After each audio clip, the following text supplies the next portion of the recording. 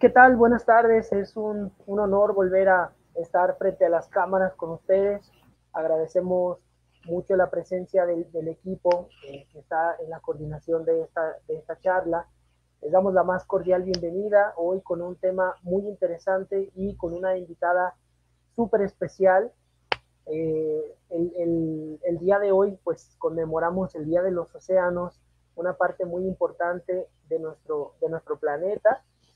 Y bueno, pues lo queremos hacer con una, una, una invitada muy, muy especial, alguien que tiene pues muchas credenciales y que tiene mucha capacidad para hablar de uno de los temas fundamentales que tienen que ver con los ecosistemas marinos. Entonces, bueno, pues tenemos a la doctora Rosalba Alonso, que ahorita nos van a hacer favor de leer su, su semblanza les recordamos, estamos en vivo, sin embargo, esta charla se quedará unos días ahí en, el, en, el, en la página. Les pedimos, por favor, que manden sus comentarios y sus preguntas, a cuales, las cuales vamos a leer pues al final de la, de la presentación de la doctora y bueno, pues ella nos, nos dará este, nos dará, nos dará pues respuesta a, a la mayoría de las preguntas que eh, vayamos nosotros haciendo. Entonces, bienvenidos, bienvenida también a otra integrante del, del, del equipo. Ella es Melissa, y bueno, pues adelante, adelante con la semblanza de la doctora. Muy buenas tardes, bienvenidos una vez más a la página, a una transmisión, hoy en, en especial por el Día Mundial de los Océanos. Como ya dije, dijeron, este, tenemos una invitada especial, la doctora Rosalba. Eh, les voy a leer un poquito de toda su, su, su trayectoria y lo que ha hecho. Bueno, ella es una investigadora titular A de tiempo completo definitivo de Pride Set del Sistema Nacional de Investigadores de Nivel 2 con una antigüedad de 15 años.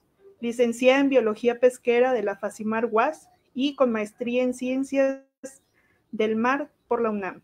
Tiene un doctorado de, de uso y manejo en conservación de los recursos naturales por CIMNOR. Ha desarrollado las líneas de investigación en biotoxinas marinas y sus efectos sobre organismos. También ha trabajado con fitoplancton nocivo en sistemas de cultivo y zona costera, como también en ecología de fitoplancton en lagunas costeras, entre otros. Ella ha dado dirección y codirección a 19 tesis, las cuales son en licenciatura, maestrías y doctorados. Ha trabajado con más de 60 estudiantes en formación de prácticas y servicio social. Actualmente es responsable de un proyecto de ciencia básica A1S 37026 que trata de la caracterización de cepas de dinoflagelados potencialmente tóxicos aislados del Pacífico mexicano en el contexto de cambio climático del 2019 al 2022. Y también trabaja con microalgas tóxicas y sus efectos sobre los organismos marinos, los ecosistemas y riesgos de su preferencia para la salud humana desde el 2005 a la fecha. Le damos la palabra para que nos presente su tema el día de hoy, que trata sobre la, eh, la importancia o el papel de fitoplancton papel ecosistemático de fitoplancton en el planeta. Adelante, doctora. Sí, gracias, Melissa. Gracias por la invitación y gracias por la presentación. eh, voy a compartir la pantalla. Uh -huh. eh, y mientras les comento que, que pues Melissa hizo una tesis de licenciatura en el laboratorio y precisamente era en estos temas de efectos de las toxinas eh, producidas por dinoflagelados uh -huh. en organismos de importancia comercial. Este, Melissa, eh, voy a... Voy, es que tengo dos pantallas. Uh -huh. Entonces, voy a poner aquí ¿Esta? Y me dices, por favor, si ya se ve. Ok. ¿Ya la estás viendo? Ya. Muy bien. Ahora la voy a poner en pantalla completa y voy a poner el apuntador. Muy bien, entonces, ¿estamos listos? Se ve muy rara la pantalla, se ve así como si estuviera en un cuadro artístico. Espero que se esté viendo bien. Eh, si me pueden, por favor, eh, corroborar esto. Si me pueden confirmar que se ve bien la pantalla. Por favor. Melissa. Tiene. Melissa, ¿sí se ve bien? No, tiene que cerrar una pantalla de las dos que tiene, aparece doble. Sí, eso es lo que te decía. Bueno. Pero hace un momento sí se veía bien. Sí. Eso es lo que pasa a veces con los con las dobles pantallas. Bueno, sí. está bien. Entonces. Ahí está perfecto. Dele pantalla completa. Es que es depende dónde se ponga, dónde se coloque, ¿verdad? Sí. Bueno, está bien. Em, ya lo tengo en pantalla completa. Eh, no aparece. Bueno, voy a hacer otra operación, que es como lo tenía cuando hicimos la prueba. Esto nunca falla, ¿verdad? Las fallas de Internet nunca fallan. No, estamos en vivo, estas cosas pasan. Muy bien. Tiene doble A ver. todavía. ¿Está doble? Sí. Mm. Que la vuelva a mandar. A ver, la voy a, volver a... Le voy a decir parar. Ese es el único archivo que tengo abierto. Y entonces debe funcionar bien, así como lo hicimos, como lo ensayamos. Muy bien.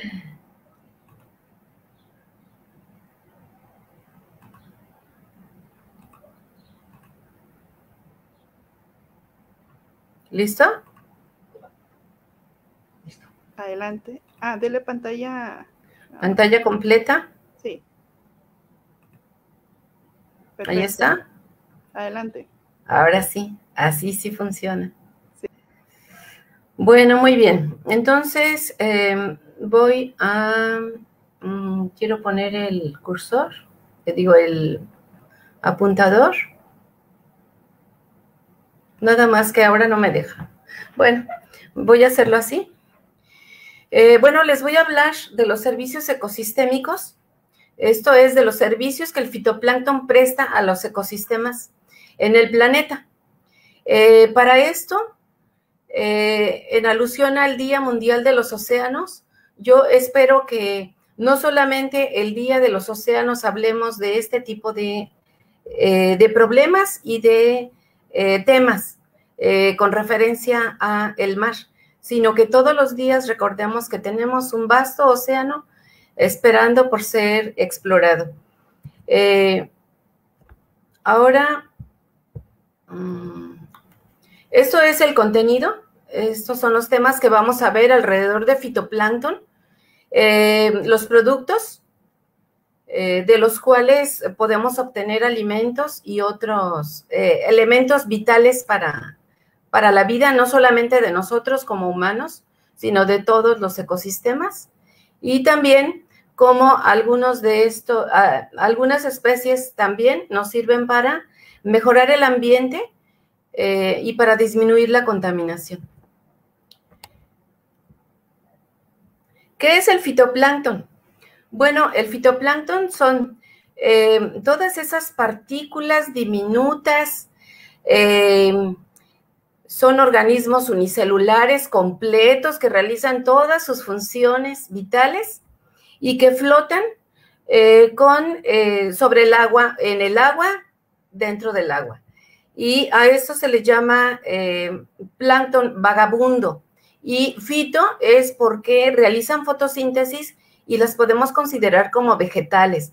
Los vegetales más simples, más sencillos, eh, de manera unicelular, algunos de ellos tienen movimientos. Tienen algunos movimientos, flotan en el agua, tienen cierto movimiento porque tienen algunas estructuras para ello, pero no pueden nadar en contra de las corrientes como son los peces. A esto se le llama fitoplancton. Plantas errantes, plantas unicelulares errantes. Ahora, para hablar de fitoplancton, ya dijimos que flota en el agua, eh, no necesariamente sobre, sino en cualquier nivel del agua donde haya luz, porque necesitan luz para vivir. Eh, y por lo tanto vamos a hablar del agua. Si nosotros vemos esta esfera, si nosotros vemos la Tierra como una esfera, el agua disponible, esta sería el agua de todos los océanos, de todos los ríos, de todos los lagos contenida en esta pequeña esfera. Nosotros la trasladamos para acá y entonces esto significa toda el, agua que está sobre, en y arriba del planeta. O sea que incluye también la atmósfera. Y esta pelotita sería la que eh, significa el agua dulce líquida. Y esta pequeñita sería, eh, que casi ustedes no la alcanzan a ver, sería el agua dulce de los lagos. Esto para poner en proporción eh, la cantidad o el volumen de agua que tenemos en el planeta. Sí, lo tenemos muy extendido y abarca el 75% del planeta, pero eh, si lo comparamos con el volumen de la, de la Tierra, pues resulta eh, muy pequeño, ¿no? Eh, ¿Cómo se distribuye el agua? Bueno, ya les adelanté que tenemos agua en la atmósfera, bueno, en los océanos principalmente, tenemos también agua en la atmósfera, tenemos también en los grandes bosques, yo aquí estoy señalando el Amazonas y eh, la zona muy, muy verde de Estados Unidos y Canadá, eh, donde se concentra eh, algunos de los, de los bosques más grandes y que producen más agua, principalmente el Amazonas. tenemos también una pequeña parte en otro tipo de cuerpos de agua continentales, como son las salineras en, el, en Chile, eh, que son poco conocidas, pero son cuerpos de agua continentales. De allí, eh, nosotros tenemos entonces que el 2.5% del agua la vamos a tener en tres principales eh, compartimentos. Los vamos a tener como icebergs o glaciares, los vamos a tener también como agua subterránea eh, esto es acuíferos, y lo vamos a tener también como agua superficial. De este 1.2 del agua superficial, nosotros también podemos eh, distribuir el agua en lagos, en el hielo o lo que se llama permafrost o hielos perpetuos que están en los volcanes, que ya sabemos que no están tan perpetuos. Ya acabamos de perder nuestro nuestro permafrost de nuestro volcán, este, eh. Eh, tenemos también el vapor en la atmósfera, algunos humedales muy importantes como el de Centla, eh, y tenemos algunos ríos muy, muy importantes en México, como el Grijalva y el Usumacinta. y entonces así se distribuye el agua. Ahora, ¿pero qué es el fitoplancton? ¿Cómo evolucionó? Bueno, hay algo que se le llama LUCA, que por sus siglas en inglés es el eh, último ancestro común universal. Y este se originó hace casi 4 mil millones de años. De este LUCA, eh, la ramificación se fue hacia el eh, dominio arquea y otro dominio bacteria. Ambos son procariotas, esto es, son eh, eh, organismos muy sencillos que no tienen membranas eh, nucleares. Su contenido nuclear está disperso. Y de allí surgió el dominio eucariota, dentro del cual tenemos a los vegetales y a los animales. Dentro de los animales estamos nosotros. Entonces, por lo tanto, nosotros somos eucariotas.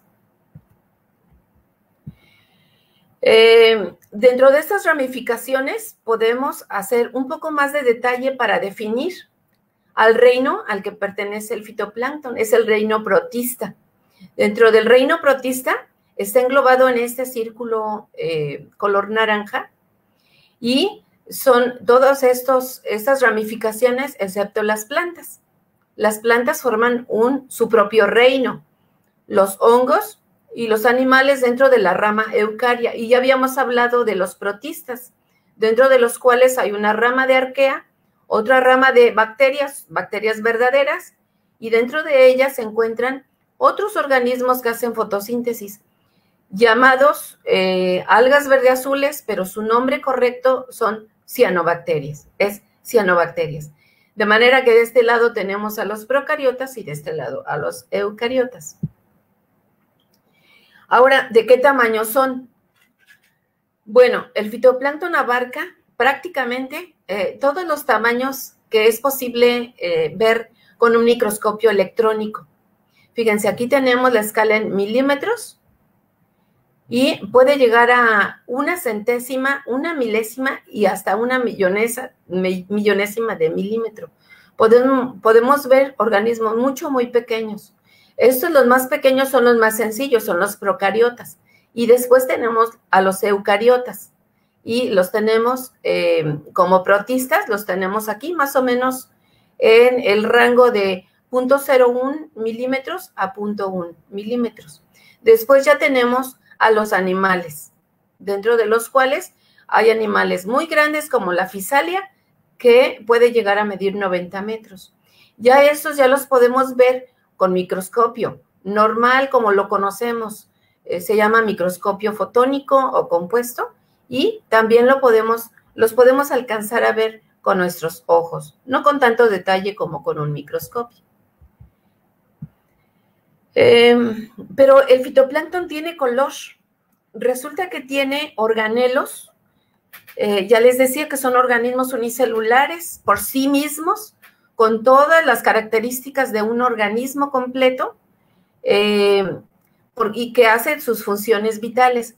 Y dentro de estas células, dentro de estos organismos, hay eh, cloroplastos. Y esos cloroplastos son los que le dan, le confieren el poder de hacer fotosíntesis, pero también el color.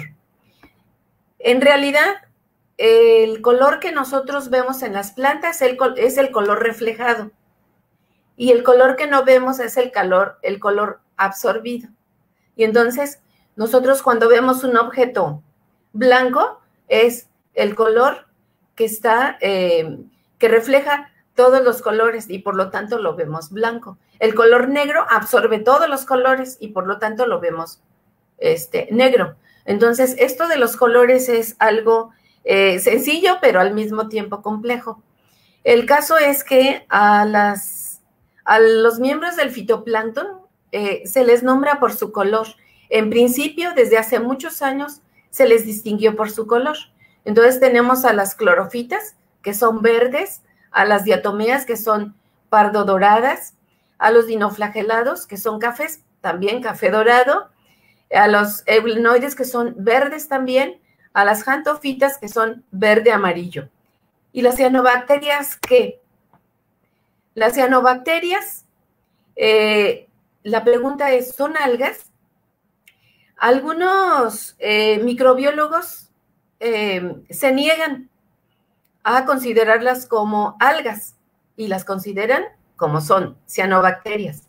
Pero la mayor parte de las personas que estudiamos el fitoplancton eh, las incluimos siempre en nuestros estudios porque sí hacen fotosíntesis, aunque sean distintas en estructura, eh, en función, eh, son similares, por lo tanto, pues el que sean algas o no, depende en qué rama estén, si están en la microbiología o están en la botánica, pero sí son parte del fitoplancton. Y les decía que tienen sus pigmentos correspondientes, ya sea los principales, que son la clorofila A, eh, y secundariamente la clorofila B, y también los pigmentos accesorios, que les permiten hacer fotosíntesis a grandes profundidades les, les permiten también protegerse de la luz, sirven como fotoprotección. Em, también estos cloroplastos eh, a veces es confuso porque encontramos características de un grupo, las encontramos en otro. Y esto es porque se partió de un procariota, eh, aquí está, la cianobacteria, se partió de un procariota. Eh, de hecho, antes eran anaeróbicos y después empezaron a producir oxígeno, el oxígeno atmosférico. Y estos se transformaron en eucariotas por eh, evolución, por mutación, y eh, hubo algo que se llamó simbiosis primaria. Esto es el primer eucariota que incorporó una cianobacteria y entonces eh, adquirió las funciones de fotosíntesis. Y así ocurrió la segunda, la segunda simbiosis y la tercera simbiosis dando origen a toda la variedad de los organismos que conforman el fitoplancton los cuales tienen una, dos y tres membranas en su cloroplasto y tienen diferentes colores. Varios colores, algunos de ellos se comparten, este, curiosamente. Pero ese es el origen de los, de los cloroplastos. Ahora, ¿qué características tienen? Bueno, como ven en la lámina, pues tienen características muy, muy llamativas. Estas han sido las microalgas que han formado florecimientos en la bahía de Mazatlán en los últimos 35 años. Son algunos de los dinoflagelados, digo, de, los, de las microalgas. Les llamamos microalgas a todos los componentes del fitoplancton. Entonces voy a estar hablando indistintamente como microalga o como fitoplancton. Ya explicamos por qué. Eh, ¿Por qué le podemos llamar microalga? Entonces, eh, no solamente estos organismos realizan fotosíntesis, sino tienen una gran variedad de combinaciones de diferentes tipos de metabolismo, porque también hay heterótrofos como si fueran animales, pero también hay mixótrofos y esto es que combinan eh, la fotosíntesis con la alimentación. Eh, de, con otros, se alimentan de otros organismos. Y las cianobacterias también tienen varios tipos de metabolismo. Uno es la fotosíntesis oxigénica y la, y la otra es la diazotrofía. Eh, se las voy a explicar más adelante, pero la diazotrofía es, en lugar de, obtener el CO2, el dióxido de carbono para hacer fotosíntesis, obtienen el nitrógeno gaseoso, el N2, N subíndice 2. Y a alta biomasa pueden llegar a cambiar el color del agua. Y em, este principalmente llega a cambiar el color del agua de la costa a un color vino mucho, muy llamativo. Eh, pero todos pueden desarrollar diferentes colores, no, no nada más el color que tienen, sino el color de sus pigmentos accesorios.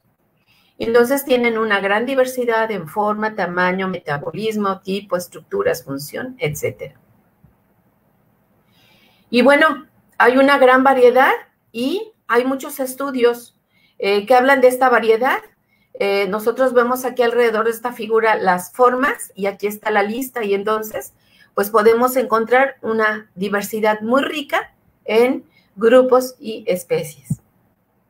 Y hay personas que se han dedicado a buscar y relacionar esta variedad y buscar su origen. Y entonces utilizan herramientas modernas, herramientas de, eh, de metagenómica, para poder relacionarlos y para poder también separarlos. Eh, y aquí es, lo, pues los puse con sus colores característicos.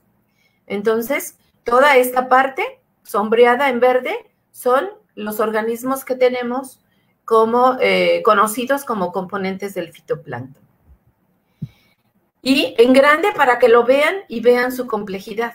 Entonces aquí tenemos los diferentes grupos y los que estoy marcando son los grupos que tenemos por aquí en la lista.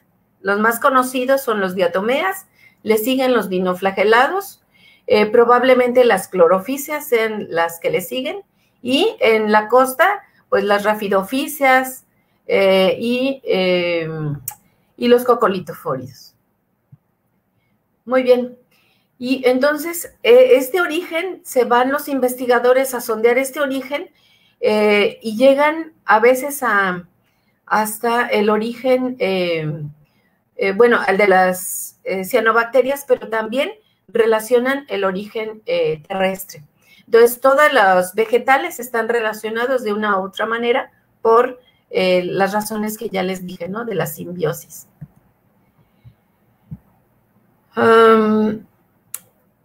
Ahora, hay este proceso de la fotosíntesis, es un proceso inverso a la de la respiración. Y el fitoplancton hace fotosíntesis, pero también respira. La fotosíntesis la hace de día y de noche hace la respiración, igual que nosotros e igual que todos los organismos acuáticos.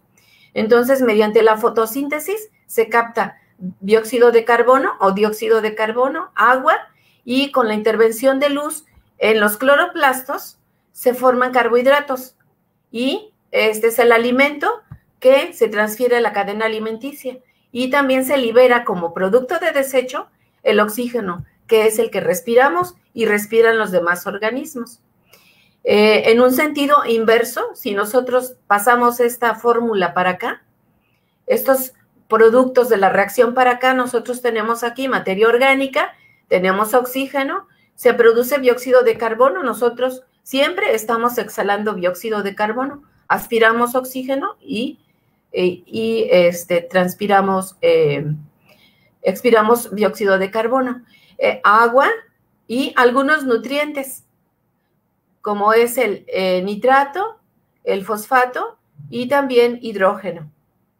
Entonces, como parte de la energía. Y además, estos compuestos tienen una fórmula mágica, que es esta, el carbono, oxígeno, nitrógeno y fósforo tienen una proporción de 106, 138, 16, 1, que es la composición de la materia orgánica viva. Nosotros estamos compuestos de estos elementos. Aquí no ponemos al oxígeno, digo al hidrógeno, pero ustedes ya saben que nuestra composición es el famoso CHONS y termina con S por el azufre. Pero estos son los elementos principales de los cuales estamos compuestos. Y todos los seres eh, en esta tierra estamos compuestos de, eh, de lo mismo en proporciones eh, ligeramente diferentes.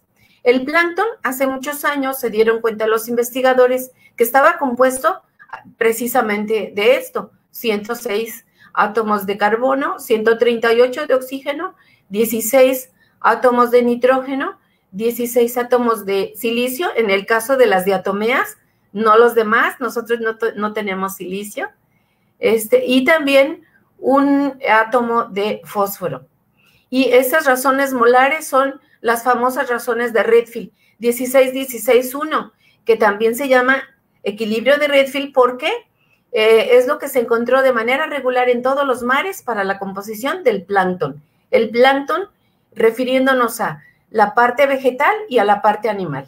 La parte vegetal se llama fitoplancton, la parte animal se llama zooplancton. Eh, y es tan importante el fitoplancton que es la base de la pirámide alimenticia. Eh, nosotros podemos ver aquí diferentes estratos y tenemos aquí el fitoplancton eh, como productor primario, al zooplancton como consumidor primario o eh, también eh, se le llama producción secundaria. Eh, tenemos también aquí a los peces herbívoros, incluyendo a la gran ballena azul.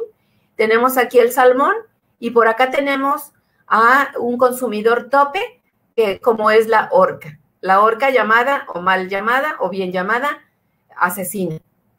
Entonces, para que nosotros tengamos un aumento de peso en una orca, en un kilo, en un kilo de peso de la orca, se requieren 10 kilogramos de salmón o 10 toneladas de fitoplancton. Cada nivel es un factor de 10. Para que nosotros tengamos un kilogramo de ballena azul, se necesitan 10 kilogramos de krill o zooplancton especial, se llama krill, este es el, la ilustración del krill, y o este, 10 toneladas de fitoplancton. Y esta energía y esta materia se va transfiriendo, se va perdiendo el 10% en cada nivel y eh, para que llegue a los diferentes organismos. Eh, entonces tenemos también, eh, algunos investigadores se han dedicado a hacer balances y a buscar y hacer cálculos. Y entonces tienen cálculos de la biomasa que eh, tienen los procariotas marinos. Esto es en, marino, ¿no? La mayor parte de lo que les voy a decir es del ámbito marino.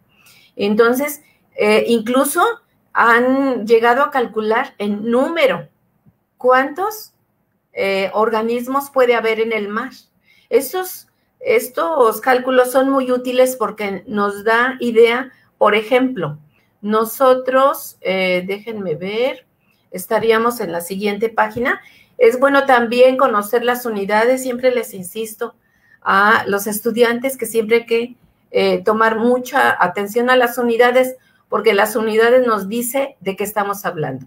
Y aquí lo que estamos hablando es de gigatoneladas de carbono. Nosotros nos podemos convertir a carbono. Si a nosotros nos... Eh, en, en pandemia no hay que hablar de la muerte, pero recuerden que cuando a una persona le incineran se puede convertir en diamante. Este diamante es carbono. Entonces, todos los organismos somos y nos podemos convertir en carbono. Y eh, mm, podríamos ubicarnos por aquí. Los animales, por ejemplo, se le calcula eh, en el ambiente marino que eh, tienen más o menos dos gigatoneladas de carbono. Entonces, este es un balance general. Y los virus, que no se consideran como organismos, son ADN y ARN. bueno, esta flechita marca un micrómetro y es para ilustrarles el tamaño que tienen estos organismos. Bueno, eh, también hay, hay algunos investigadores que se han dado a la tarea de hacer estos balances con los diferentes ciclos biogeoquímicos. ¿Qué son los ciclos biogeoquímicos? Bueno, pues son todos los ciclos donde interviene el fitoplancton y eh, que tiene que ver con el carbono, eh, bueno, está el agua, el ciclo del agua, pero está eh, como ciclos biogeoquímicos el carbono, el nitrógeno, el oxígeno, el azufre, etcétera. Entre uno de los más importantes es el del carbono y en este diagrama se pone en rojo todo lo que nosotros le estamos añadiendo a nuestro planeta y en negro lo que tiene de manera más o menos natural. En este eh, balance, entonces, nosotros tenemos que, hay algo que se llama eh, bomba biológica, que es la transformación del carbono inorgánico al carbono orgánico, y ese se transfiere a, eh, las diferentes capas del océano y principalmente se queda en la capa profunda. Eh, aquí lo tenemos, en la capa intermedia, 36.100 gigatoneladas de carbono por año. Bueno, eh, no, los negros son balance y los que tienen flechas son flujos. Entonces aquí estaría hablando de balance. En la capa intermedia hay 37.100 eh, gigatoneladas de carbono y 100 añadidas por nosotros como humanos. Una de las principales salidas eh, de pues de la Tierra hacia la atmósfera de carbono es la quema de combustibles fósiles y eso no tiene ninguna sorpresa para nosotros. En el caso del el balance de carbono dentro, de dentro del océano, pues tenemos aquí el gran depósito que les estaba comentando de carbono, el cual pues no queremos que siga aumentando, pero jamás quisiéramos que, eh, que estuviera disponible para la superficie, porque entonces sería un caos. Un, mm, un mar, eh, los océanos tienen que estar en equilibrio. Cuando el equilibrio se rompe, empiezan los problemas. Aquí tenemos nuestra bomba, este, nuestra bomba biológica que es eh, operada por el fitoplancton. Y tenemos también un intercambio con la atmósfera, atmósfera-agua, importante en cuanto a los gases. Entonces, hay intercambios del fondo del mar con la columna de agua y hay intercambio de la columna de agua con la atmósfera. Y si no se mantiene en equilibrio, bueno, pues vienen los problemas.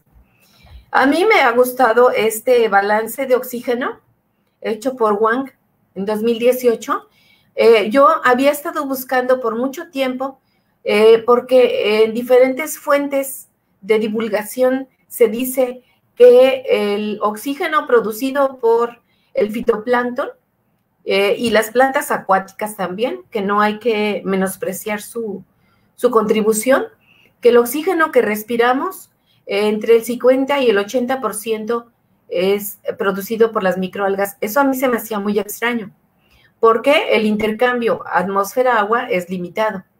Y este autor me, gustó porque, porque él le pone números a sus cálculos y eh, pues le pone también argumentos. Y entonces sí, eh, efectivamente el fitoplancton produce una gran cantidad de oxígeno, pero también lo consume no solamente lo consume el fitoplancton, sino que lo, consumen los animales y la materia orgánica en el agua, de manera que solamente el 10% se libera. Fíjense, aquí está. Solamente el 10% se libera. Y el 90% del oxígeno que respiramos proviene de, eh, de, la zona de vegetación de los trópicos. Y estamos hablando del pulmón del planeta que es principalmente el Amazonas. Entonces, dependemos completamente de este tipo de ecosistemas para que se mantengan verdes, para que pueda haber oxígeno. Pero este autor nos alerta ya en un decrecimiento del oxígeno a nivel global eh, de 21.23 gigatoneladas de oxígeno por año de 1990 a 2005. Entonces, esto es importante de eh, anotar y lo vamos a ver más adelante. Y entonces el fitoplancton tiene una interacción muy íntima con el zooplancton, ya que el zooplancton consume al fitoplancton y a partir del zooplancton, entonces ya la cadena alimenticia llega hasta los consumidores tope o incluso hasta nosotros, porque nos alimentamos de todo el alimento que produce el fitoplancton a través de la fotosíntesis. Y también dependemos del oxígeno disuelto. Aquí tenemos dos de los principales servicios eh, ecosistémicos que brinda el fitoplancton. Eh, ¿Qué variables están implicadas en esta interrelación? Bueno, la temperatura y la salinidad, los nutrientes, tanto micro como macronutrientes, la turbulencia, las condiciones de estratificación de la columna de agua la coincidencia entre el zooplancton y fitoplancton para que se pueda dar esta interacción y que pueda transferirse el alimento y la energía a los niveles superiores. Y también las fluctuaciones a gran escala, como son el niño, la niña, la oscilación de cadal del Pacífico, el blob, el Godzilla, etcétera, de lo cual le prometí a Melissa que iba a hablar un poco. Eh, y antes de eso, vamos em, a, comentar algo sobre, eh, sobre el clima, el clima oceánico. Nosotros hemos e, escuchado hablar del clima oceánico, pero no es el mismo el clima que tenemos aquí en la zona subtropical que en la zona polar o en la zona tropical. De manera que también en el mar hay climas y hay clasificaciones muy sencillas como esta, donde clasifican aquí esta zona azul como zona fría la verde como zona templada, la café amarilla como zona cálida, abarcando la parte central de los dos hemisferios. Eh, luego sigue otra vez la zona templada, pero del hemisferio sur, y la zona fría del hemisferio sur. Entonces, esta es una clasificación muy sencilla.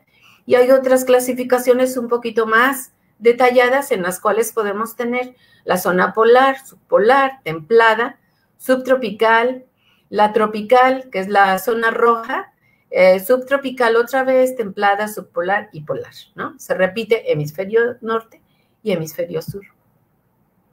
Ahora, hablando de esta bomba eh, biológica, nosotros eh, ya sabemos que el fitoplancton utiliza CO2, por lo tanto, mucho del, mucho del CO2 que producimos como humanidad dentro de nuestras actividades pues es captado por este intercambio agua-atmósfera, es, captado por el fitoplancton y el fitoplancton hace su trabajo. de manera que nos ayuda a captar este CO2 y a reducir los efectos de invernadero que provoca el dióxido de carbono. ahora, ¿cómo se relaciona el fitoplancton con el niño? Pues resulta que el niño inhibe el crecimiento del fitoplancton. Cuando está el efecto del niño fuerte, marcado en, nuestras costas, el agua está transparente, está limpia y eso no es bueno. ¿Por qué? Porque entonces no hay pesca. Si no hay alimento, si no hay fitoplancton, no se, no se liga al zooplancton y por lo tanto no hay alimento para los diferentes niveles de la cadena alimenticia. Entonces, el fitoplancton inhibe la productividad primaria, que es la producción de alimentos. ¿Y la niña qué, sucede con la niña? Bueno, cuando está la niña, entonces sí hay productividad eh, primaria alta, hay mucho alimento y eh, todo eh, vuelve a ser, bueno, condiciones ideales para una alta producción y hasta nosotros, ¿no? Mejor pesca y más recursos alimenticios que vienen del de, mar. Ahora, últimamente, en los últimos años, ha habido varios eventos a, los que se les han puesto nombres muy llamativos, como el blob, que quiere decir gota. En este caso, el blob eh, frente a Canadá, en la costa em, occidental, en la costa oriental, costa occidental de Canadá, se llama el blob.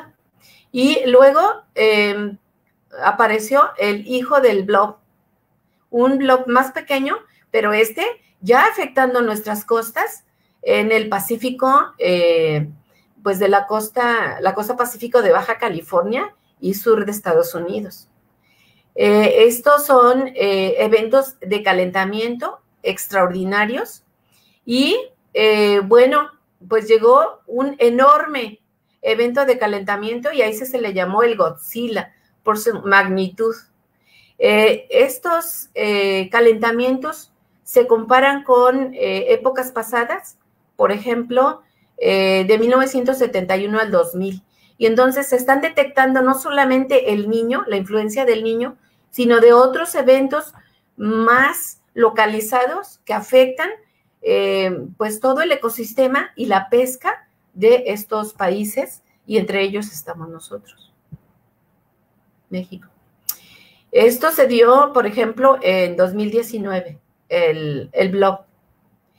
Eh, hay otras oscilaciones históricas, o sea, siempre han estado, que se descubrieron hace algunas décadas también, curiosamente, son oscilaciones decadales, como la oscilación decadal del Pacífico.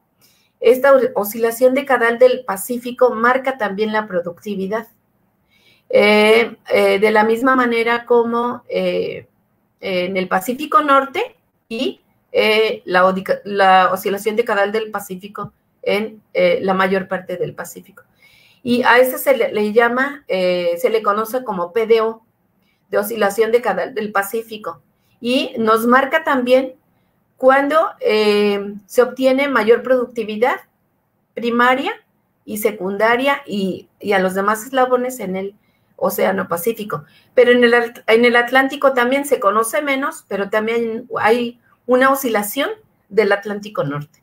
Entonces, eh, todos estos eventos están ligados a la productividad primaria del fitoplancton.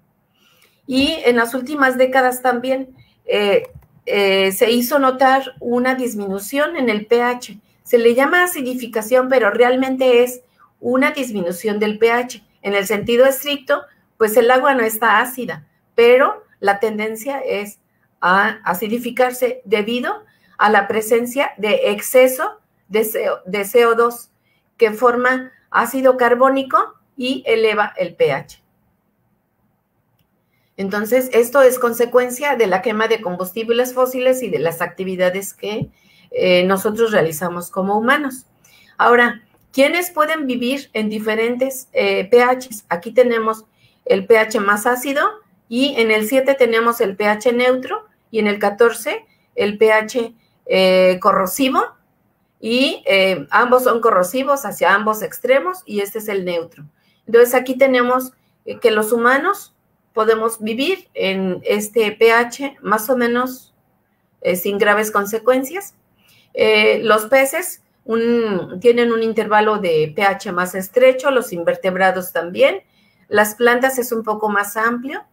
tenemos aquí la lluvia ácida, que fíjense, que puede llegar casi hasta hasta cero de pH.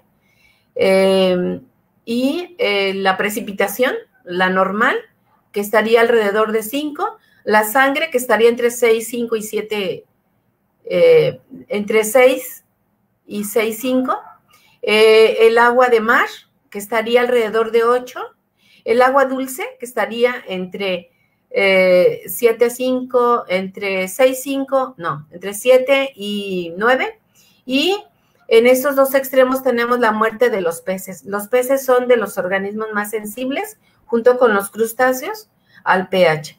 Pero también hay, está toda la gama de organismos que tienen estructuras de calcio que en pH, eh, bajando del pH neutro, pueden eh, destruirse sus estructuras y dejan de crecer.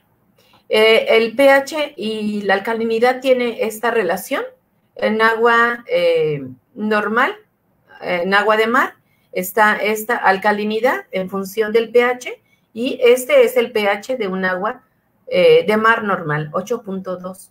El agua dulce tiene una alcalinidad más baja porque tiene que ver también con las sales y, eh, y pues puede tener también pHs ligeramente mayores que el agua de mar. Eh, y la fotosíntesis también cambia el pH. Al mediodía, cuando se está realizando la fotosíntesis, hay baja alcalinidad y, eh, no, hay alta alcalinidad eh, en la zona verde y hay baja alcalinidad en la zona amarilla. entonces, el, el, pH es modificado también por la fotosíntesis, porque utiliza CO2 y libera este, oxígeno. Y hay un sistema también interrelacionado muy importante que el sistema es el sistema carbono-carbonatos, el cual tiene que estar en equilibrio y se ha visto que en los últimos años se ha movido un poco hacia la izquierda. Entonces, eh, este sistema eh, carbono-carbonatos está también agudizándose por la presencia de CO2 y que eh, hace que se liberen iones hidróneo y esto eleva el pH. Entonces, lo que hacemos en la atmósfera impacta en el agua. Eh, también un exceso de nutrientes, de descarga de nutrientes, puede provocar un exceso de fitoplancton y a su vez formar una capa densa, anóxica, a lo cual se le llama zona de mínimo oxígeno. Estas capas de, estas capas de mínimo oxígeno cada vez se están acercando más a la costa y tiene que ver con la descarga de nutrientes. Y entonces les decía que el oxígeno estaba eh, disminuyendo a nivel global, pero también en el agua está disminuyendo. Aquí tenemos un gráfico de un autor en el cual pone una disminución del oxígeno disuelto en esta latitud y en esta longitud y es una tendencia decreciente de 1960 al 2000. Y hay otro autor que eh, dice que de 1900 al 2010, fíjense, todas las líneas tienden a bajar, algunas más tienden a bajar y son diferentes zonas en el océano. Entonces, hay una tendencia a disminuir el oxígeno debido a la fertilización, a la sobrefertilización del agua por la descarga de nuestros residuos como sociedad. Nosotros descargamos nitrógeno y fósforo, pero no descargamos silicio. El silicio es un elemento de equilibrio, de equilibrio para la composición del fitoplancton. Me refiero a qué especies están presentes y eh, la falta de silicio desequilibra esta razón de Redfield y hace que crezcan organismos que pueden ser peligrosos.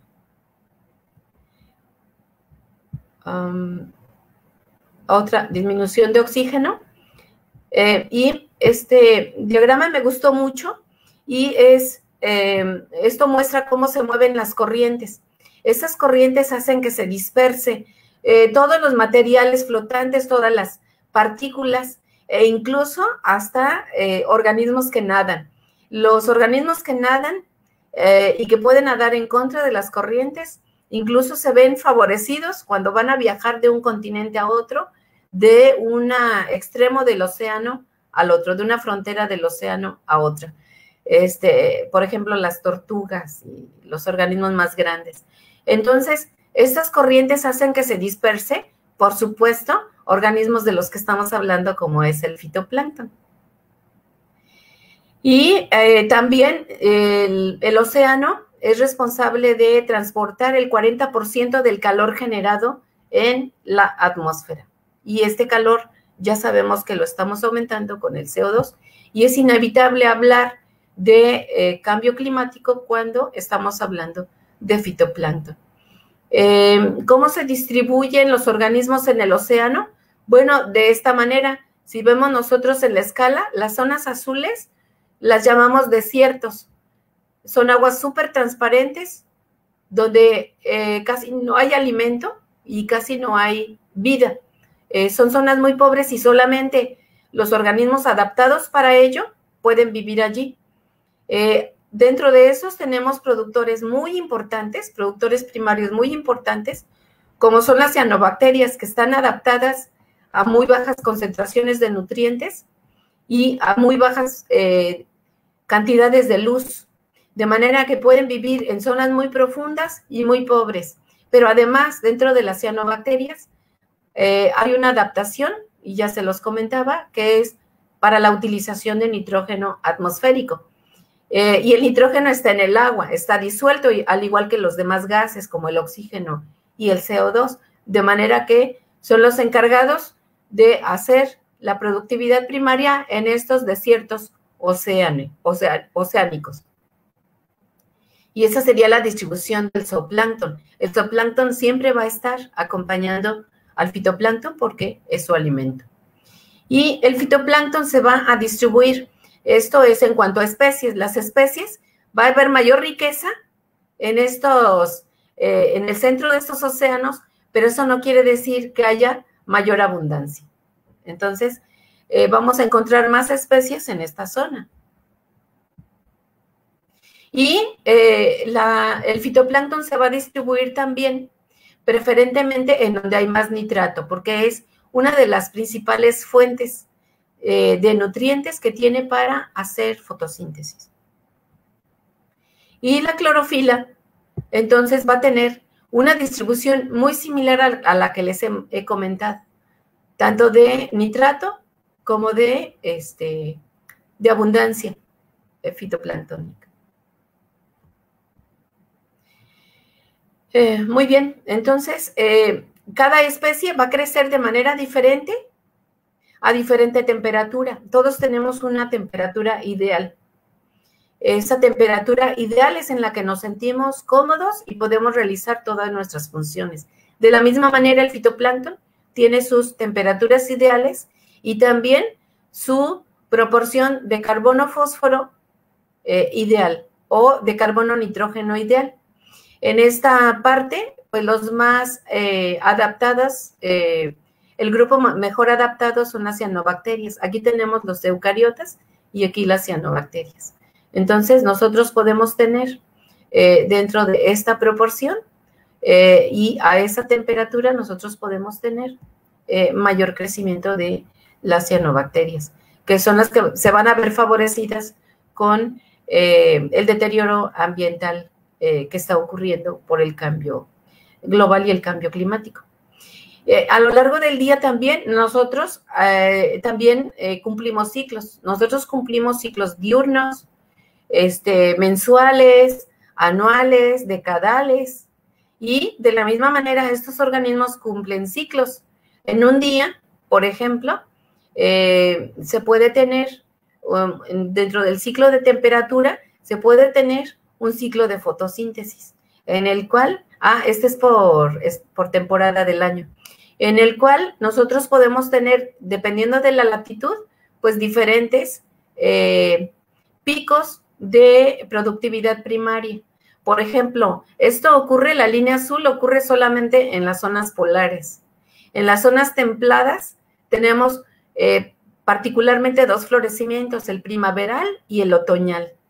Y a lo largo de, eh, de algunos meses nosotros podemos tener el bloom o el florecimiento principal, que es a lo que me estoy refiriendo, eh, y luego puede haber un florecimiento secundario que casi siempre se relaciona con este porque se utilizan los nutrientes reciclados. Eh, la productividad, productividad, global, me voy a ir un poco más rápido. Eh, son algunos estudios en los que comparan eh, la productividad primaria, la clorofila A y, y la luz fotosintéticamente activa. Esto es la luz que aprovechan los organismos para, los organismos fotosintéticos para crecer. Entonces, si se fijan, aquí tenemos un eh, exceso de luz, incluso exceso de luz, para, para lo cual hay, hay algunas adaptaciones de fotoprotección. En aguas muy transparentes la luz puede penetrar hasta 200 metros. En aguas muy turbias o también le podemos llamar ricas, pero también contaminadas, eh, la luz puede penetrar 15 centímetros. Entonces, eh, eso también hay que tomarlo en cuenta, la luz. Bueno, y entonces, pues nosotros nos alimentamos de todo lo que produce el fitoplancton. Y tenemos aquí, eh, pues, las, estadísticas de la producción pesquera. Entonces, otro de los, de los principales servicios ecosistémicos del fitoplancton, pues, es la producción pesquera. Entonces, eh, voy a pasar varias eh, ilustraciones en la cual eh, se tocan el tema de los alimentos y cuánto de, esos eh, productos pesqueros se, aprovecha como alimento y cuántos no. y también el estado de las pesquerías. Este es el estado de pesquerías insostenibles. Este es sostenibles y esas son subexplotadas. Entonces, también tenemos una situación allí de sobreexplotación.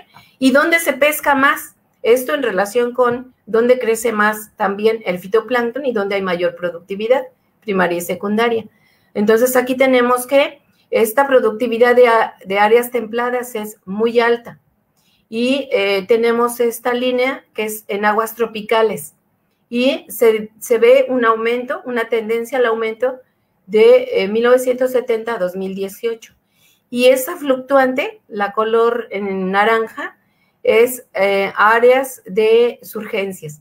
Las urgencias son, eh, los, son fenómenos eh, costeros, pero también se da en, mar abierto donde hay islas y es la fuerza del viento sopla hacia la línea de costa y el agua es empujada, el agua superficial es empujada a 45 grados del ángulo de la costa y esta, este espacio es ocupado por aguas de fondo ricas en nutrientes, lo cual hace que los, los países y las zonas que están cerca de las zonas de surgencias sean muy productivas. La producción acuícola ha crecido en los últimos años. Es la, la barra naranja ¿Y en qué se utiliza el pescado? Mm, la mayor parte se utiliza para alimento directo, pero alguno se utiliza para, eh, para fabricar harinas, para alimentos de animales. Eh, ya se me está terminando el tiempo y vamos a, eh, pues vamos a, tratar de, concluir. cambios globales cambios globales es difícil que sean uniformes. Eh, en, esta, en esta lámina, por ejemplo, tenemos los cambios en la productividad primaria.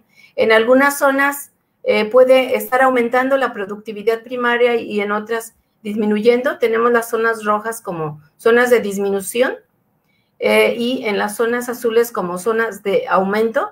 Y esto va a impactar en, eh, pues en los alimentos, en la producción de alimentos de origen marino. Y también se sabe de un cambio en la productividad, en, la composición de especies en diferentes regiones. Entonces, las cosas están cambiando eh, debido a, pues, lo que les decía, ¿no? A lo que estamos haciendo en la superficie, en la atmósfera. Nosotros, nosotros, pues, en la, en la atmósfera. Bueno, eh, hay tendencias de disminución de la concentración de oxígeno, hay tendencias en la disminución de diferentes variables de las que les he estado hablando. Por ejemplo, aquí lo mismo, en estas zonas, eh, en estas zonas rojas, son zonas que se llaman zonas muertas, son zonas hiper, hiper eutroficadas. Y en estas zonas eh, no hay oxígeno. En, a poca profundidad no hay oxígeno. Eh, son las zonas más impactadas por la, por la humanidad y las zonas azules son las menos impactadas. Eh, bueno, ¿qué más? Bueno, todo esto tiene que ver con el cambio climático, las respuestas del fitoplancton. se elige el fitoplancton como indicador de variables ambientales porque es el que más pronto responde a estos cambios. Eh, y cada respuesta es individual. Nosotros nos dedicamos a hacer este tipo de, experimentos. Nosotros sometemos a los, a los dinoflagelados y a las microalgas a diferentes condiciones de nutrientes, de salinidad. Eh, si se puede también, no lo hemos hecho, pero lo queremos hacer con CO2. Y vemos su respuesta tanto en crecimiento como en producción de toxinas. Hay eh, varias especies que producen toxinas y la respuesta es de manera individual en diferentes condiciones. Como pueden ver aquí, eh, la misma especie responde diferente a temperatura que a eh, CO2. Entonces, cada respuesta es específica. Y pues sí, muchas microalgas producen toxinas y lo hacen para eh, defensa, se llama defensa química principalmente, para tener éxito dentro del ecosistema. Entonces, esos mecanismos hacen que se produzcan toxinas, algunas muy potentes, y eh, tenemos esta gama de toxinas desde el cianuro, que es la menos tóxica, aquí vamos en sentido inverso de toxicidad, desde el cianuro hasta la toxina botulínica o la tetánica, que es de las que más conocemos. Entonces, esa es su eh, potencia tóxica. Y eh, también hay tendencias para este tipo de organismos eh, productores de toxinas, hay tendencias y también se han este, establecido límites, por ejemplo en México y en otros países, límites, y cuando supera estos límites empieza un, eh, empieza una, empiezan a echar a andar una contingencia, una secuencia de contingencia para atender el problema y reducir el impacto. Eh, tanto eh, algunos compuestos que contienen las eh, microalgas que no producen toxinas, como las que producen toxinas pueden ser utilizados con aplicaciones médicas, o sea, farmacéuticas, o para la industria. Y me parece que ya eso es todo. son, estas son las conclusiones de los servicios ecosistémicos que brinda el fitoplancton eh, para el planeta. Entonces, principalmente es el consumo de CO2, la producción de oxígeno, la producción de alimento para la cadena alimenticia, eh, interviene en todos los ciclos biogeoquímicos, utiliza y metaboliza compuestos contaminantes, produce metabolitos útiles para la sociedad, eh, produce toxinas que también son útiles en la medicina y contribuye a la estabilidad del clima global y la salud del océano por el consumo de CO2. Muy bien, pues con esto termino y eh, si gustan hacer algunas preguntas. Muchas gracias. Al contrario, doctora, muchas gracias a usted. Este, la verdad es que es un tema muy interesante para ver y volver a ver, para como ir este, eh, concretizando todos los datos que usted nos, nos ha ofrecido. Y pues invitamos a los asistentes a que nos hagan algunas preguntas. Este, Melissa, tú tienes algunas, me parece, ¿verdad? Ya, ya registradas. Sí, así es. Excelente tema, me encantó la presentación. Muchas gracias, doctora. Gracias, Melissa. Eh, bueno, voy a leer unos saludos que le mandan, doctora. Eh, le manda saludos Lara K, Dulce Parra, Paloma mm, Dice que qué gusto saludarla, saludarla, aunque sea por este medio. Sí, gracias. Eh, y, abro las preguntas. Comenzamos. La primera, Paloma del Carmen comenta, ¿la, ¿la, acidificación de los océanos pudiera afectar la dinámica del fitoplancton incrementando la frecuencia de los fans?